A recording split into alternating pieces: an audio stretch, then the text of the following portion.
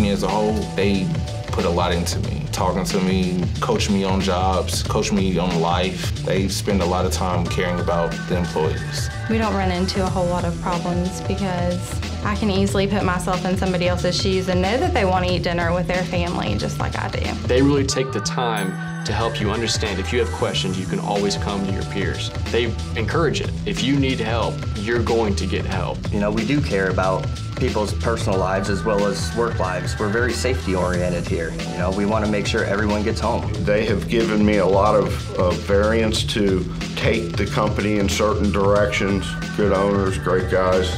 La compañía, los dueños, Jay y Brad, te tratan como, como si fueras alguien de su familia. Ellos siempre están viendo por ti, qué es lo que ocupas, si necesitas algo, siempre están ahí para ayudarte. A couple years ago, my mom, she had, was going through cancer, she had leukemia, and they were right here. They, I'm sorry, man. They, they were behind me, and that's something I can't, like, I really appreciate that.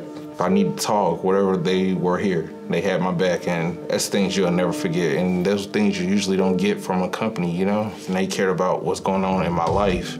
That meant so much to me, man.